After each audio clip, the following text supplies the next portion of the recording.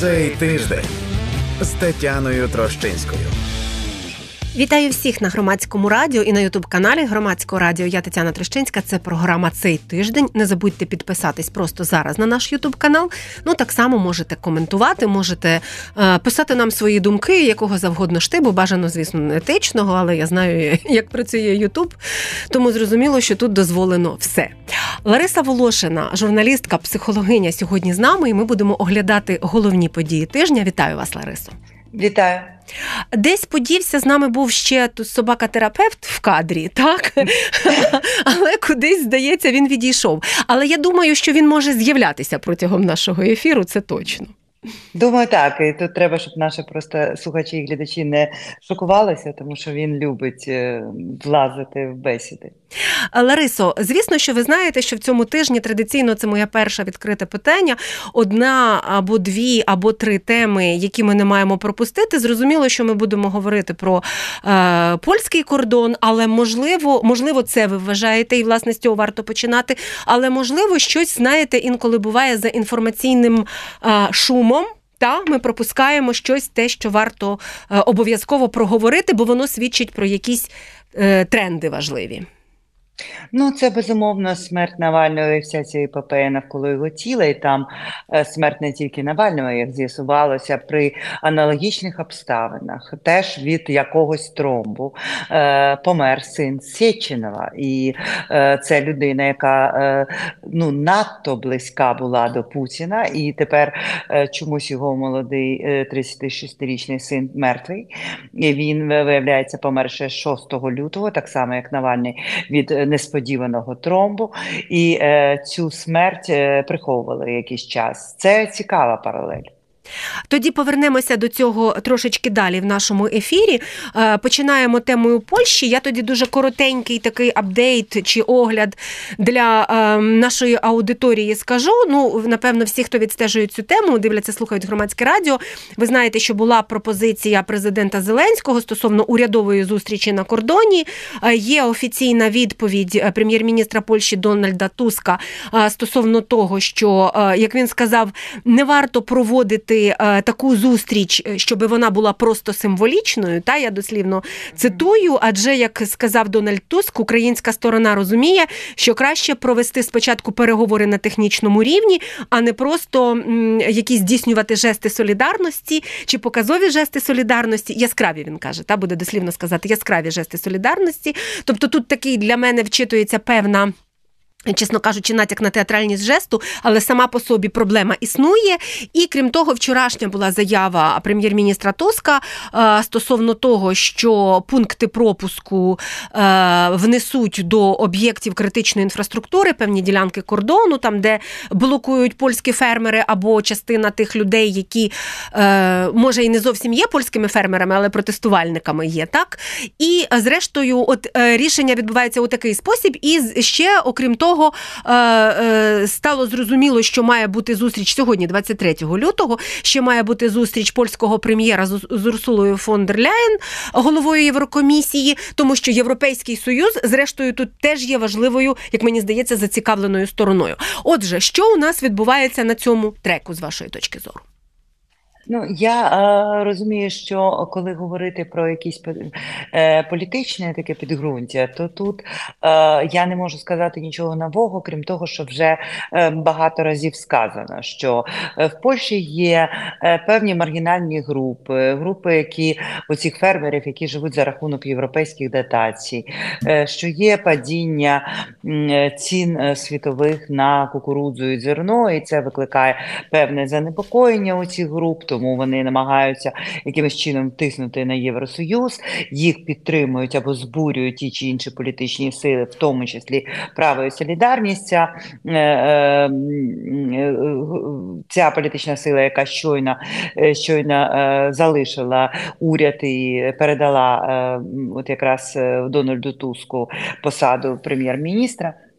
Все це очевидні для нас речі, і це багато разів обговорюється. Але що мені дуже е, цікаво е, в цій ситуації, мені цікаво спостерігати за цією суспільною дискусією, яка розвертається навколо подій на україно польському кордоні, тому що е, поки всі коментують, чому це відбувається, якось знаєте, забувається про те, а що саме ж відбувається, тому що польські фермери говорять, що вони блокують поставку українського зерна, тому що українське зерно, мовляв, демпінгує ціни на польському ринку. І виходячи з цього, багато коментаторів, в тому числі в Україні, говорять: ну слухайте, нехороші бариги, е, от е, порушують домовленості. Великі агрохолдинги. Да, в, в, великі агрохолдинги. Тобто, в принципі, ще трошки і вставай оце от земля е, крістянам, фабрики е, робочим. Тобто абсолютно більшовиські пояснення але чомусь одночасно пускається від уваги, якось так виноситься за дужки, що блокується на кордоні і ті товари, які йдуть в бік України, причому товари військового і гуманітарного значення.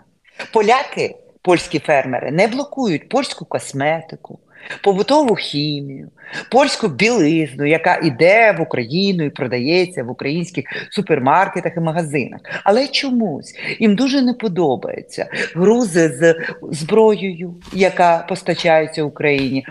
Гуманітарні е, грузи. А що таке гуманітарні грузи? Це мавіки, це якраз безпілотники, це якраз те, що потрібно нашим військовим, машини, наприклад, які постачаються нашим військовим, це все гуманітарка. І оце теж чомусь блокується. І чомусь, от, е, е коли я бачу цю дискусію, мені це здається, знаєте, дивним. Е, яким як можна пояснювати щось з крутним становищем польських фермерів, е, причому пояснювати нам, що ми маємо бути вдячні Польщі за те, що Польща прийняла наших біженців.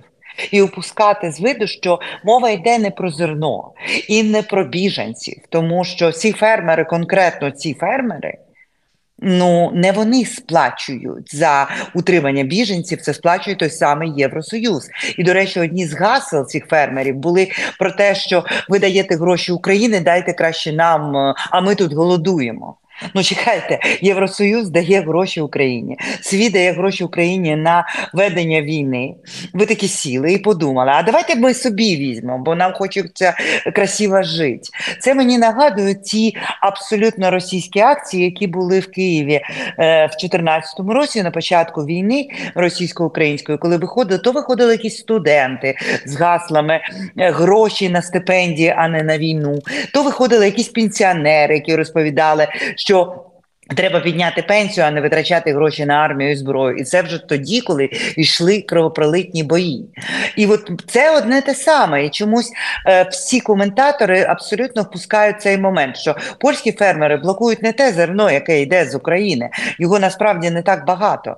Вони блокують ті грузи, які йдуть в Україну. Причому виключно грузи е, військового характеру. Ну а і, на... і логістичні шляхи, власне, не лише та, тобто, фактично, по це по логістичним логістичних шляхах. А як Але ви думаєте, та, та, ну, та. Вони, ну вони, вони ж не блокують польські товари, які йдуть в Україну. Їх так. повно їх повно в наших е, були вчора. До речі, та я абсолютно з вами погоджуюсь тут. Ларисо цікавий був момент, і знову ж таки можуть послухати наша наша аудиторія. Вчора у нас в програмі Суворі Сувора Догана, це програма трьох військових на громадському радіо. Вони теж обговорювали це ну з точки зору військових, та про про блокування власне логістичних шляхів е, і е, машин, які можуть перевозити ту допомогу, яку потрібна збройним силам. І вони говорили з волонтером Станіславом Кириловим, який є доволі відомим українським і львівським волонтером, який переважно працює з Польщею. Та от він е, знає е, входи і виходи, та як вивозити і ввозити всю волонтерку, починаючи від гуманітарної, закінчуючи військовою, яка йде в Україну.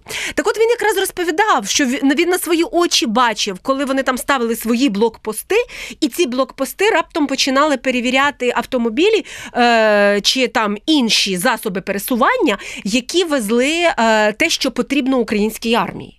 От про ну це це просто люди, я не знаю, там громадяни Польщі, які просто е, і польська і що цікаво, він каже, польська поліція реагувала на це дуже мляво, а вона може реагувати дещо інакше. І тут виникає питання, що це ну політика, а не а не лише економіка. Так, і це безпека Польщі, тому що коли по території Польщі йде військовий вантаж, а якісь люди його блокують, його ж везуть теж не просто собі там цивільні. Це військовий вантаж, який знаходиться зараз в зоні відповідальності польської держави. І не так то ви спробуєте підійти, наприклад, роззброїти там поліцейського, або, наприклад, той вантаж, який йде на польську військову базу. Вони ж накупили собі там тих самих апачів. От давайте ми зупинимо поля, польські фермери зупинять апачі і почнуть перевіряти. Так не буває. Я думаю, що там буде реакція. Тому те, що реакції нема, це якраз дії, свідомі дії польського уряду. Ба більше для того, щоб якимось чином знаєте, приховати всю цю політичну, ба більше диверсійну діяльність своїх власних співгромадян і свою бездіяльність, нам починають розповідати, що питання в нашій невдячності. Це абсолютно не так, тому що оце питання невдячності, коли тебе садистують, це в принципі таке закликання до залежних стосунків. Ну так поводяться, наприклад, аб'юзери, коли вони пояснюють своїй жертві, що я тебе годую, я приношу тобі гроші, а те, що я тебе там час від часу б'ю головою батарею, ну так терпи, ти маєш бути вдячна. Це про це. А заява Дональда Туска стосовно того, що це буде внесено до критичної інфраструктури і так далі, це з вашої точки зору е, розуміння цієї ситуації і спосіб Він... розблокувати всю цю історію. Він намагається зробити щось, щоб нічого не робити. Тому що добре, е, прохідні пункти будуть внесені до інфраструктури, тоді блокування буде на дорогах. Я просто згадую, як на початку української незалежності Польща ж була е, менш е, багатою країною ніж Україна. Україна вивозила велич... українські громадяни їздили в Польщу на продавати на базарах багато чого, і ем, от їдуть автобуси, їх зупиняють якісь молодики і просто беруть дань.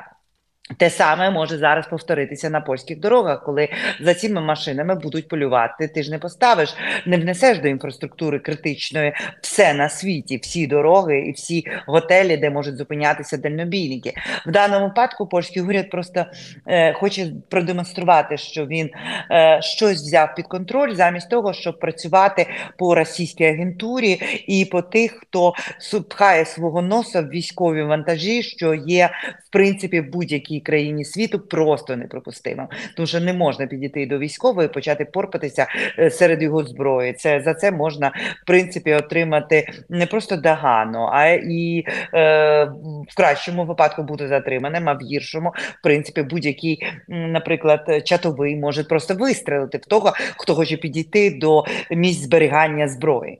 А тут важливий момент. Е, польська досить авторитетна і велика впливова газета Реч Посполіта провела спільно з соціологічною компанією дослідження польською, і вони виявили, що протести польських фермерів підтримує 77, навіть трошечки більше відсотків польських громадян.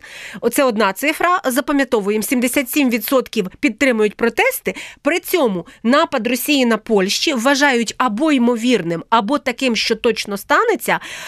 60 9% поляків, тобто фактично однакова цифра, близька цифра. Вони з одного боку вважають, що може статися напад Росії, з іншого боку, вони підтримують цю форму е, протестів. Це що нерозуміння, що тут є певний зв'язок між цими процесами? Ну а можливо, вони вирішили розрахуватися з Путіним нами.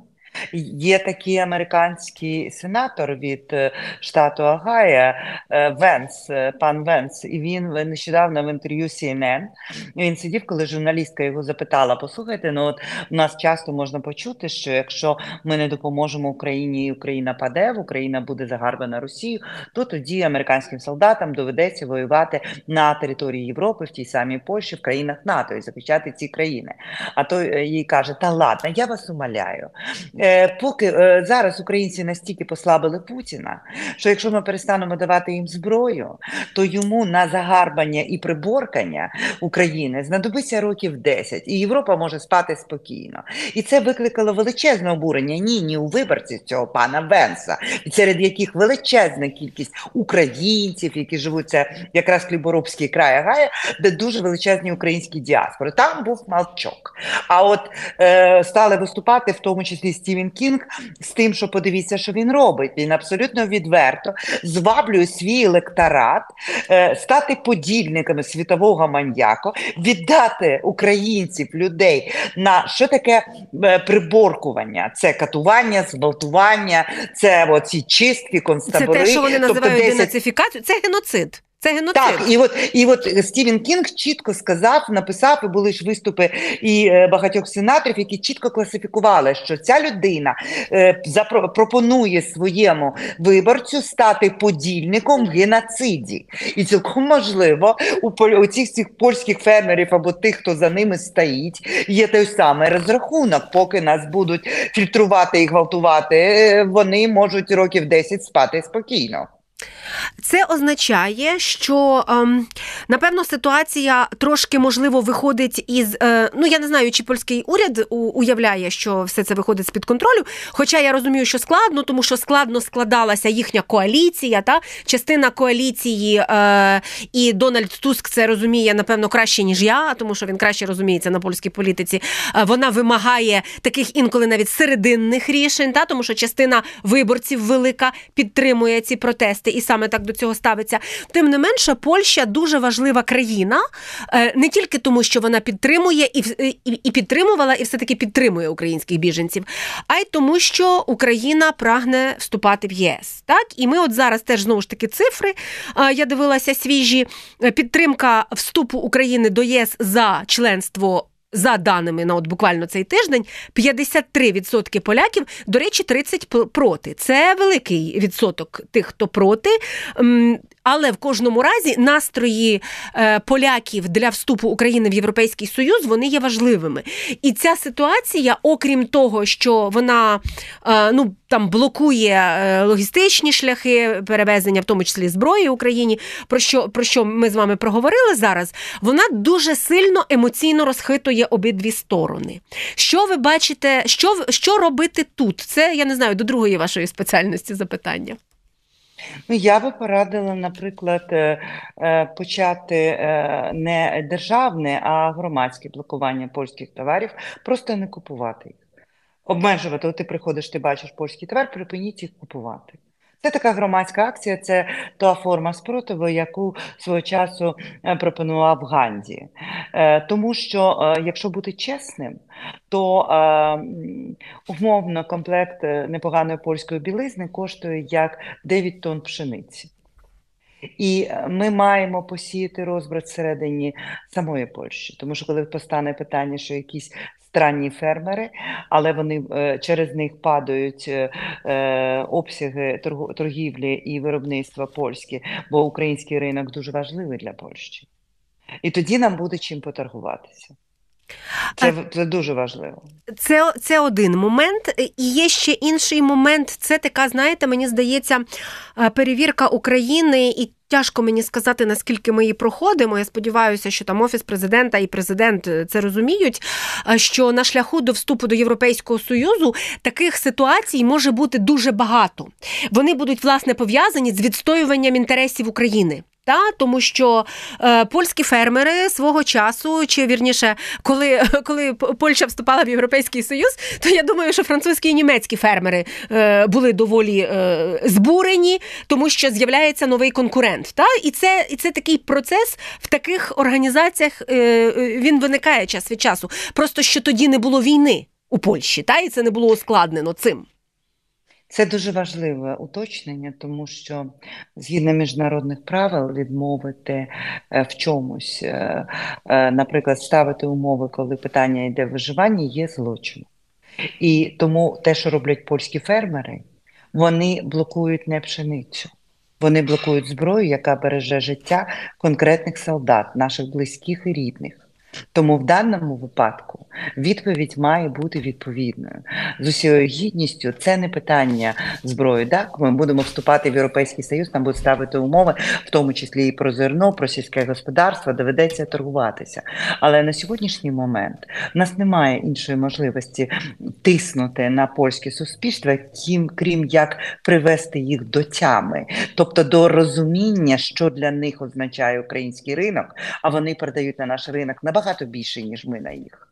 І е, що для них означають ті самі українські біженці, які в більшості своїй працюють, платять податки, відкрили підприємництво. Вони не є утриманцями. Більше того, на утримання українських біженців Польщі гроші поставляє Євросоюз. Так само, як Євросоюз замістив на мільярди доларів Польщі ту зброю, стару радянську зброю, яку вона передала сюди. Фактично, польська армія переозброїлася і перетворилася на сучасну.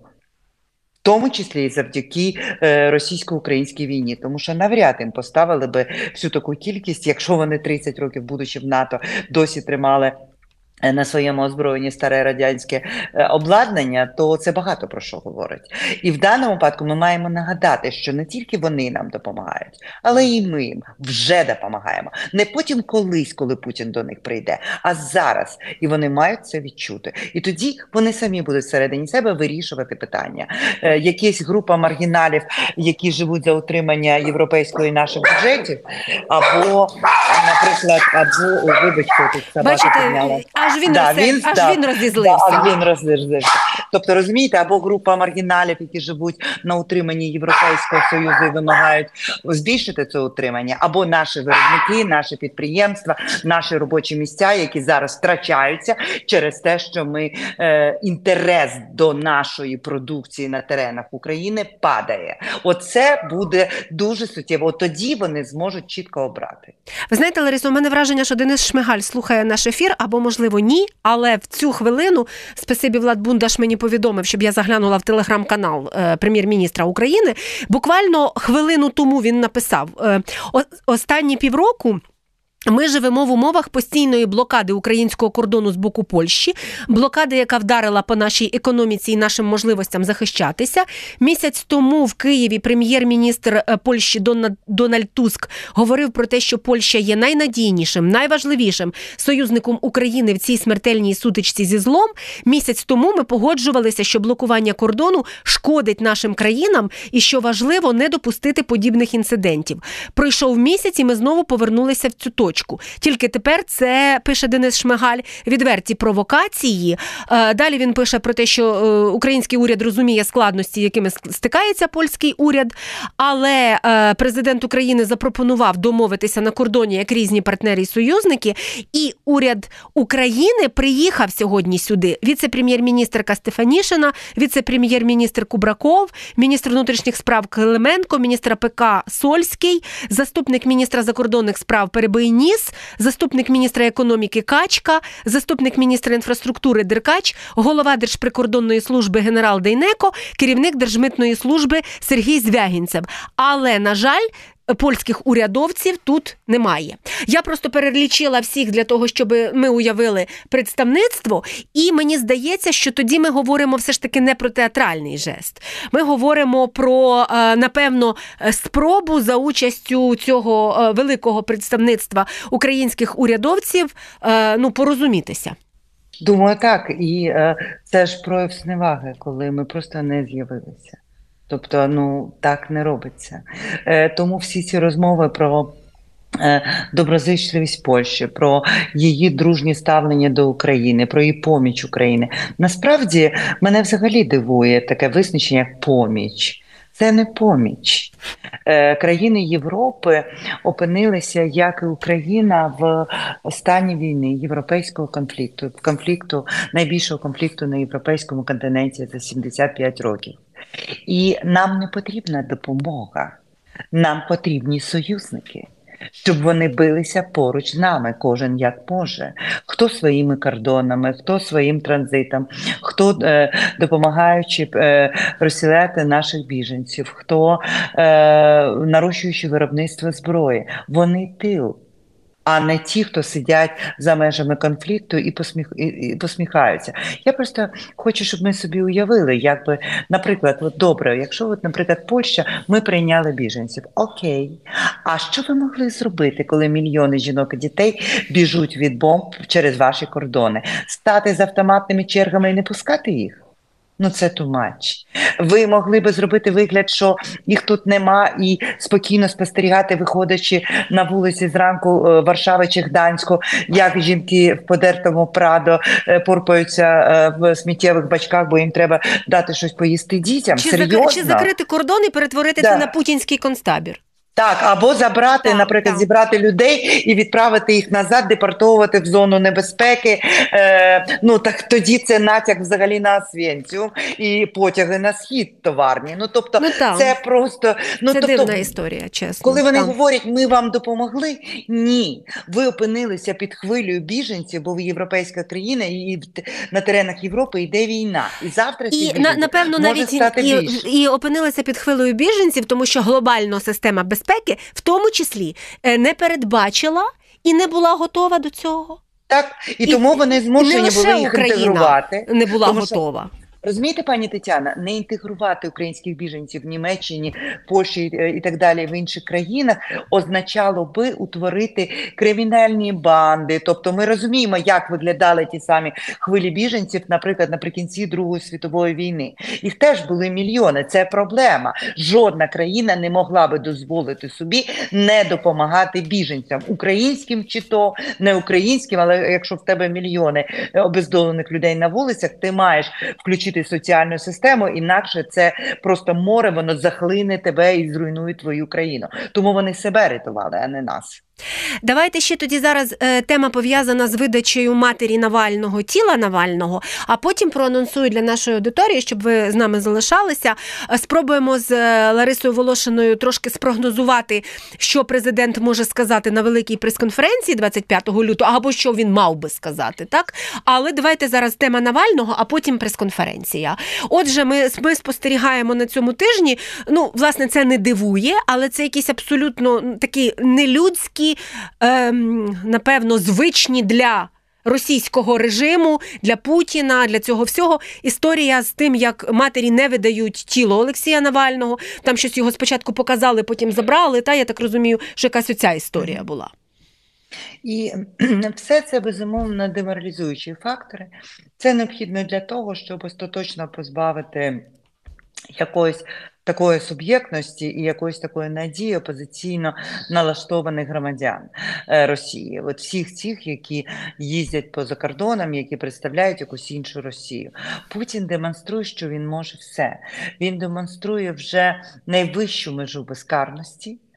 Е, Більше того, він отримує підтримку. Зверніть увагу, як це вікно Авертона зсувається, Мгм. тому що той же самий жоден західний політик ніколи не посмів би підтримувати людину, яка зухвала і демонстративно робить щось таке. Товаришувати, обнімати, але Дональду Трампу все можна. Тому, в принципі, те, що робить Путін, він паралельно розбещує. е, От якраз цього консервативного виборця, як то польські фермери з плакатами Путін розберись з Україною, Брюсселем і нашим урядом. Ну тобто Путін в віді вже в Польщі. Ну там ще не вистачало просто Гіркіна з нашими мальчиками. А так вже ну знайомка, знайома нам картинка. Тепер ми бачимо, як поводиться Трамп щодо Навального, як він поводиться щодо України. Тобто е, Путін з одного боку робить щось за межами моралі, добра і зла, але оці його, я вважаю, наймані симпатики. Е, Розганяють, зміщують акценти і тим самим розбещують запит західного обивателя, е, встановлюють для нього абсолютно інші межі того, що можна, що не можна. Паралельно, безумовно, вбивство Навального перетворює, е, воно демонструє заходу, що тут є тільки я, і розмовляти ви будете тільки зі мною. Ніякої іншої Росії будущого не буде. Ось що він їм демонструє. І е, на, для нас ця ситуація цікава знову ж таки нашою реакцією, тому що ми маємо зрозуміти дуже цікавий момент. Навальний, при тому, всі йому згадують той бутерброд, і це правильно, безумовно. І всі говорять про те, що Навальний імперець. Це так, тому що він же ж це ж покоління Путіна. Він фактично сформувався політично і як доросла особистість, якраз в період же правління Путіна. Він імперець, як і всі ці хороші русські, вони всі імперці, бо вони не роблять ревізію е, політики своєї країни, вони не Відмовляються говорити про свободу народам Росії. Вони знати не хочуть ці народи, але все ж таки відмовляються говорити про те, що все ж таки всі ці народи знаходяться в жалюгідному стані. Вони е, е, час від часу ставлять під сумнів питання Криму. Я нагадаю того ж Бикова, який розповідав, що ну так, ну Крим це Україна, але ж людей та там жалко. Тобто йому людей жалко, що якщо Україна прийде, людей то йому шкода, розумієте? От, ну наче ми якісь там кати, а вони що? Йогурт? І е, от а Навальний був цим імперцем. Оце його не бутерброд, це намагання загравати з цією шовіністичною публікою. Але коли він опинився в таборі, і коли почалася війна, він е, його маніфест він був чіткий. І в цьому маніфесті чітко було сказано про те, що Україна має отримати репарації, всі е, території мають бути повернуті. Ось е, там говорилося про те, що е, ті, хто е, сидять зараз в путінських таборах, вони. Ну, вони починають еволюціонувати від імперців до державників. Це вели... це дуже непогано. І ми бачимо, що не імперцем був, наприклад, Німцов, тому він мертвий. Коли не імперцем став Навальний, коли він почав говорити про боротьбу, про е, режим внутрішньої окупації, про необхідність Росії припинити окупувати територію сусідніх країн, тобто зробив вже крок до відмови від імперіалізму, він помер. Тому. Нам важливо акцентувати, бачити, що коли ми відштовхуємо, коли ми просто ігноруємо і хочемо, знаєте, не бачити різниці між Путіним і Навальним, це не є добре для нас, тому що е, нам треба бути в тому плані розумними, як країні, як суспільству, знаходити е, там точки, е, яким ми можемо сприяти, лідерів, яким ми можемо сприяти, рухів, яким ми можемо сприяти, тому що наша ціль знищення російської російської е, Росії в її сьогоднішньому вигляді, в цьому централізованому, яке рано, е, рано чи пізно призводить до е, поновлення імперської ідеології. Тому є багато цікавих моментів з корінними народами Росії. Ми маємо працювати з активістами цих народів. Ми маємо сприяти їх суб'є... утворенню їх суб'єктності. Ми маємо працювати з діаспорами цих корінних народів і з тими самими росіянами, які притримуються антиімперської імперської позиції. Ну, зокрема, це ті е, росіяни, які воюють е, в українській армії. Е, вони утворюють свої утворення, не численні, але утворюють. І ті російські опозиціонери, які е, проголошують пряму антиімперський дискурс. На мій погляд, це, наприклад, Гаррі Каспаров, за що його дуже всі не люблять з цієї російської ліберальної тусовочки. І це безумовно був Навальний після е, широкомасштабного вторгнення. Тому треба думати, як впливати на цю публіку, тому що наша задача розвалити таке Росію. Переходимо до президента, до його, до його, напевно, так, не такого простого становища, і все це і тому, що трошки поговоримо про зустріч з президентською фракцією, і по е, так само окремо запитаю вас, Ларисо, що би, напевно, ви би хотіли, або ми би з вами хотіли почути на прес-конференції. Не знаємо, чи це буде сказано. Але я почну з іншого запитання. Е, в великому інтерв'ю Fox News, е, я не знаю, у мене таке враження, що вже в всіх ефірах ми тут з політичними експертами, експертками говорили про те, що коли Такер Карлсон взяв інтерв'ю в Путіна, то президентові України було б добре дати інтерв'ю або Такеру Карлсону, або Fox News, або кому-небудь, десь туди поближче до фронту. Ну і зрештою, ми бачимо, що він дає інтерв'ю Fox News. Е, воно сьогодні з'явилося і з'явилося. Е, переклади тез, тому ті, хто, наприклад, там з аудиторії нашої не читає англійською або не е, не дивиться англійською, там можуть побачити тези. І воно було е, дано неподалік від лінії фронту на харківському напрямку за кілька кілометрів від важких боїв. Це був інший журналіст, не блогер Такер Карлсон, а редактор програми спеціальний репортаж Бред Байер і політичний оглядач Fox News. Я на одній тезі президента зупинюсь, бо можна на багатьох зупинятись. Але на що я звернула увагу? На запитання стосовно того, що от в травні можуть бути питання з легітимністю, оскільки в Україні не буде виборів. Президент сказав, що так, вибори провести неможливо, тому що війна і воєнний стан і так далі. так далі. Але з огляду на рейтинги, якби вибори були зараз, він впевнений, що він би переміг. Що ви думаєте про це? Я думаю, що а, він не зовсім розуміє ситуацію. Я думаю, що якби вибори були зараз, то він би, звісно, не переміг.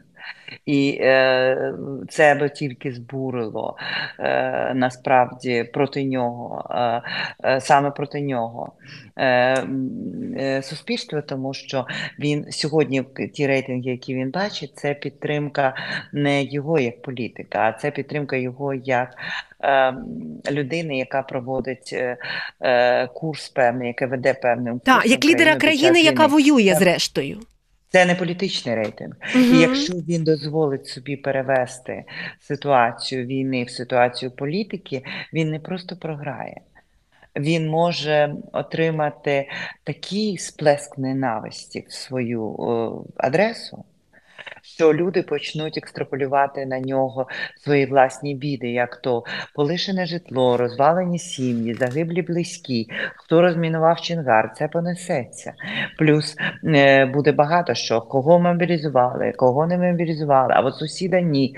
Тобто е, президент е, буде винен перед кожним українцем. От що відбудеться, якщо ситуація перейде в політичну, політичний дискурс і політичну боротьбу. І зараз йому це точно не потрібно. Тому, але мене лякає це, тому що е, це вказує на те, що йому про це говорять, йому так докладають. Йому спотворюють і... картинку, судячи з усього. Думаю, так, і він може наважитися на вибори. Думаєш, а що такого? Я все одно переможу. Ні, ти е, можеш призвести ситуацію до, в принципі, такої ну, до падіння країни. І є ще одна складна історія, і мені здається, що ця складна історія вона теж мала би бути очевидна для президента, тому що вона очевидна для мені здається для усіх журналістів і журналісток, які працюють е, з політикою, усіх експертів і експерток. Це напружені стосунки з самою фракцією е, Слуга народу. Та тому що е, це абсолютно відрізняється від того медового місяця 19-го року чи медового півроку, коли е, це все працювало, хотіла сказати, як банкомат, але на щастя, не як банкомат як оцей принтер е, з ухвалення усіх ймовірних і неймовірних законів.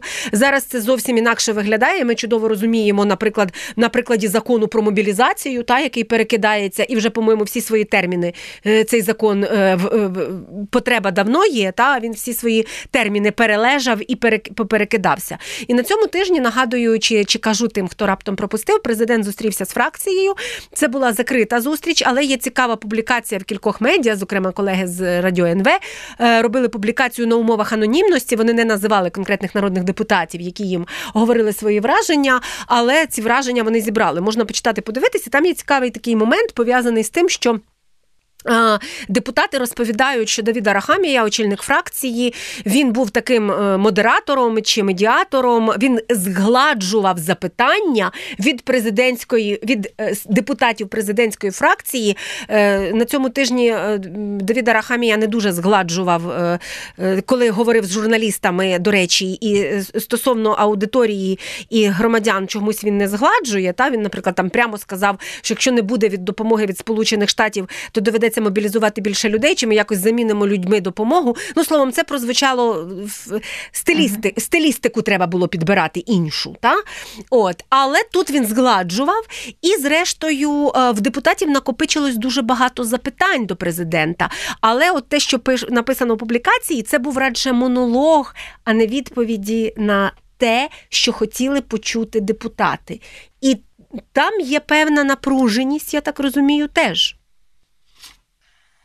Так, напруженість є, безумовно, і це показують голосування, тому що доводиться залучати сторонні голоси, щоб голосувати за законопроекти. Тому що, ну і тут знову ж таки, для всіх очевидно, що.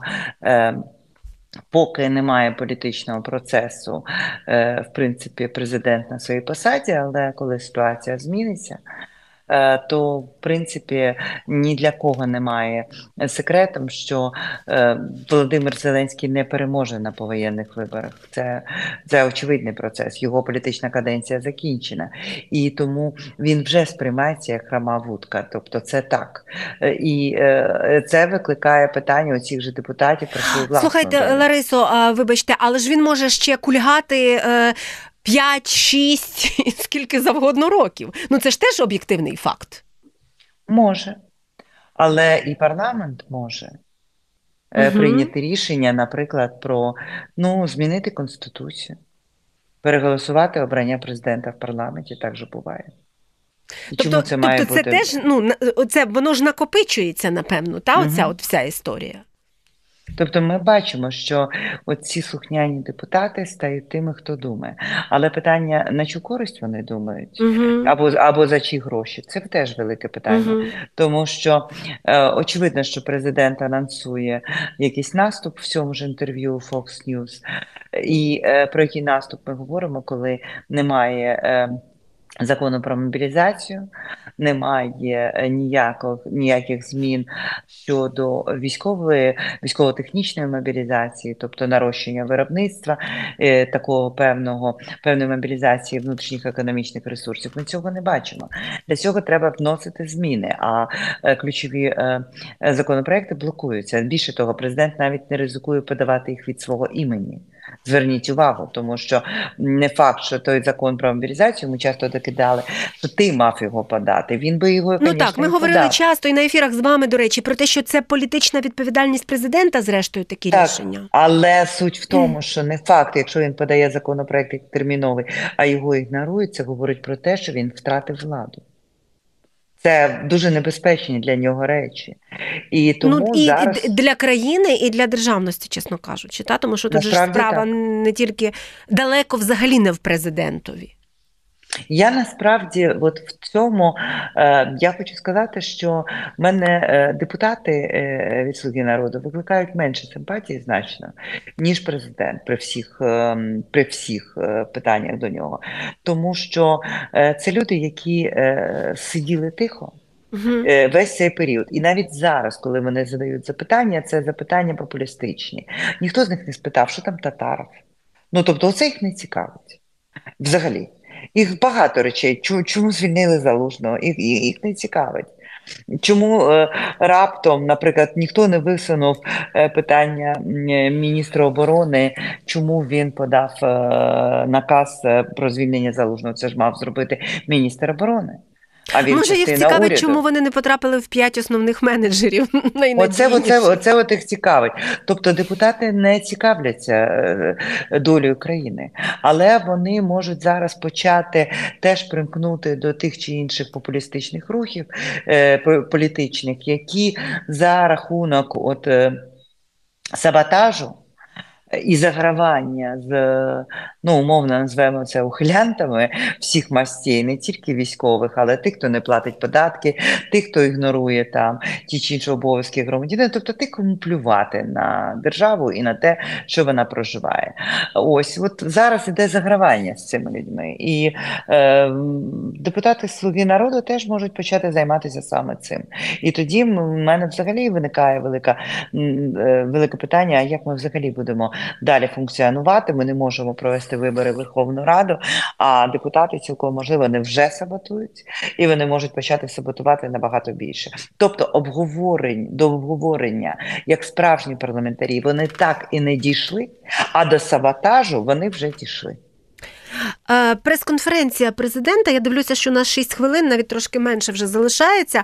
Президент е, не президент оголосив, а звісно, що оголосив е, прес-секре- прес-секретар, речник президента Сергій Нікіфоров, що президент Зеленський проведе прес-конференцію в неділю 25 лютого. І звісно, що всіх глядачів, глядачок, слухачів, слухачок закликаю стежити за ефірами громадського радіо. Ми все це будемо без сумніву аналізувати.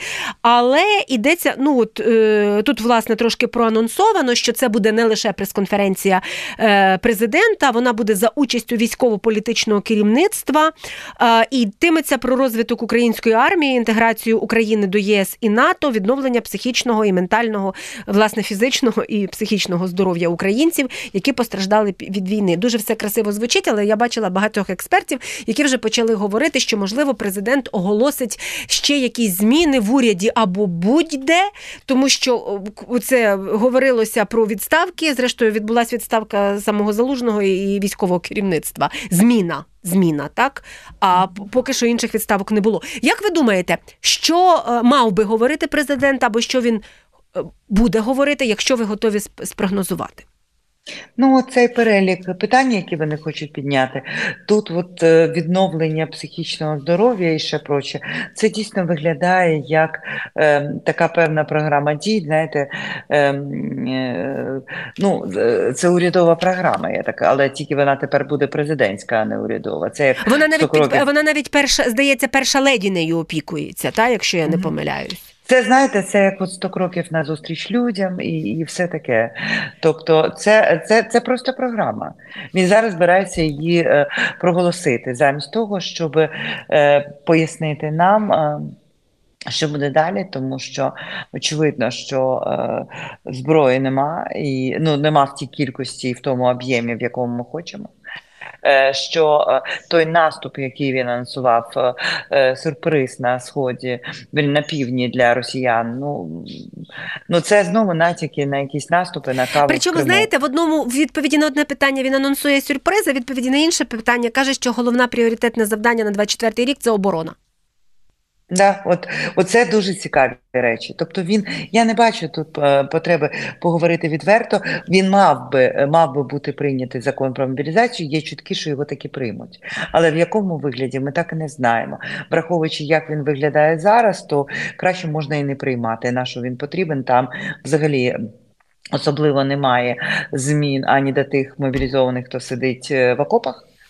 А тобто там немає обов'язкової демобілізації для людей по певному терміну, ну за їх бажанням. Ні, якщо армія захоче. А і, і там немає армія і ставка. Да, і ставка. Тобто, в принципі, ці люди заручники, вони залишаються заручниками а, а своєї власного патріотизму і законослухняності. А тих, хто ухиляється від виконання закону, і це спільна воля всіх політичних партій і фракцій, включно з найпатріотичнішими, що маміни черешеньки якщо вони не хочуть. То хай вони і не будуть. А це і дивовижна, от... до речі, історія. От буквально коротесенько, бо завершуємо, але не можу не зачепити. Чому найпатріотичніші фракції, частина з яких, до речі, і колишніх їхніх там депутатів або е, членів обласних осередків на фронті давно або загинули, вони не готові взагалі брати відповідальність за е, мобілізацію? Так, безумовно, я е, в мене був е, навіть суперечка в ефірі з депутаткою однієї з патріотичних фракцій, коли я нагадала, їй, що її особисто виборець сидить в окопах вже третій рік, Власне. і вона має захищати інтереси свого виборця, а не ухилянців. Е, але я думаю, що це загравання з електоратом. На жаль, всі готуються до виборів. Зверніть увагу, на жаль. Трамп готується до виборів Сполучені Штати, польський уряд, і в нас тут та сама історія. Тому на, на жаль, президент скоріше я я підозрюю, що я знаю про що він мав би говорити як лідер воюючої країни, але е, з того, що вже анонсовано, я дуже боюся, що він вийде і теж проголосує чергову передвиборчу програму 100 кроків на на, на, на зустріч людям. Україна будемо жити по новому. Ну от, от, оце, оце це передвиборча програма президентська. Я просто бачу цю хвилину і все одно за цю хвилину питаю: а що головне, от що він мав би, ви кажете? От одне бодай. Кров, поти, сльози. Причому як? Не просто по е, він має пообіцяти нам це, бо цього досі ще не було. Крові багато, а поту і сліз ще ні. І він має сказати, як ми будемо вибиратися з цієї пастки е, е, глухоти наших союзників. Судячи з книжки Саймона Шостера, яка е, зрозуміло, що суб'єктивна і в ній багато чого факт-чекінг е, вона потребує і так далі. Але президент не дуже, попри те, що ми там вважаємо, президент, як він пише, не йому не дуже подобається Черчилль. І що цікаво, тим, що його не обрали після виборів. Це теж на подумати. Та такий от момент. Дуже вам дякую. Лариса Волошина, журналістка, психологиня, була з нами в нашій програмі цей тиждень. Я Тетяна Трещенська е, працювала сьогодні для вас. Ви слухали нас на Ютуб каналі і підписуйтесь, поки ще звідси не пішли зараз швидесенько. І так само слухайте нас на радіо. Громадське.радіо. Дякую всім, хто нас слухав. Слухайте, думайте. Цей тиждень з Тетяною Трощинською.